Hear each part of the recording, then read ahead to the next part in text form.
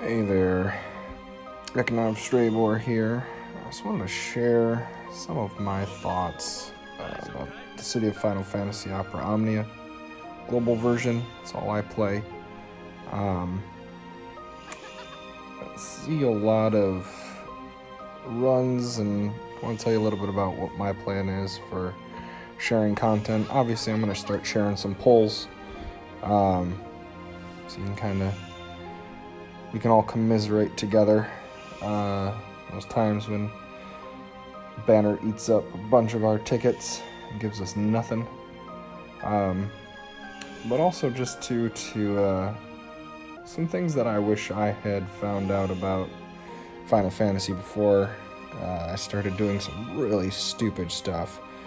Uh, for example, um, anytime you get, just for the new people out there, um, weapons, make sure you keep anything gold until you have the passive.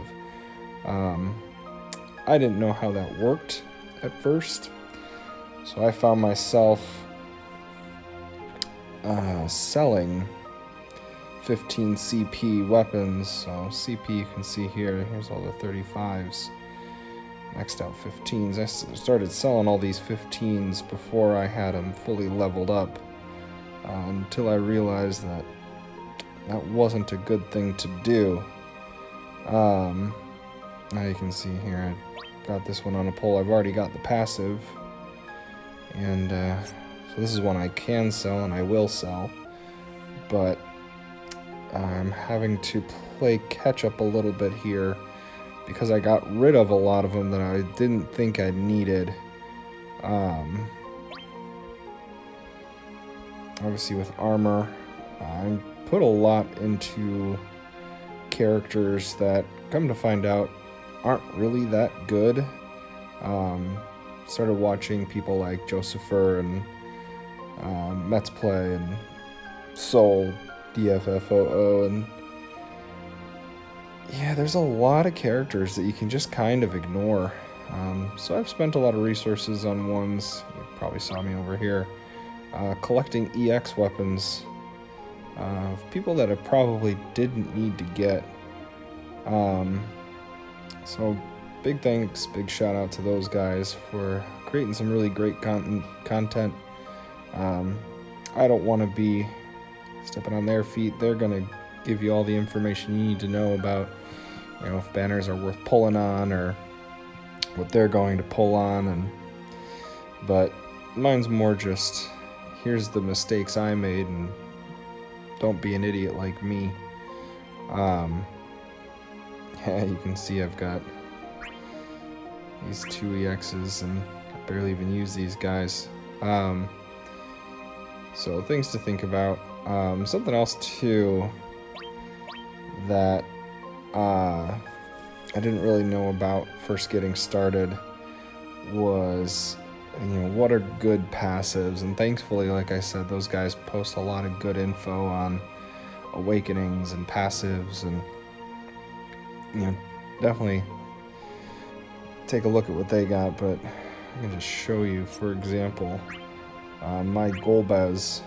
I had uh, some Dojas and these are the first two I got.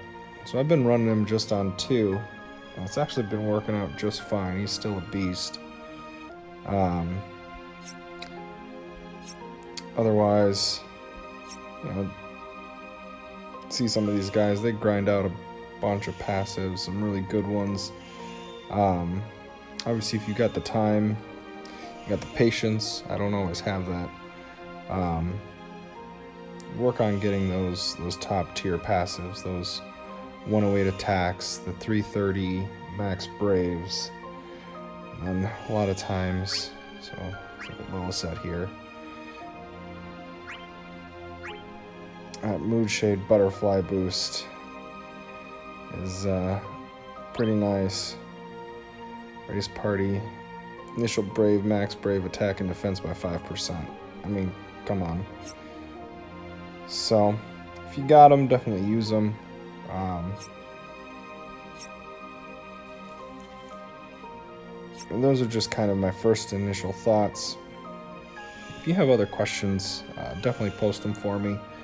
Uh, I'm happy to answer. Like I said, I've made a lot of bonehead moves, just spent a lot of gems, a lot of tickets early on characters that I don't really use anymore.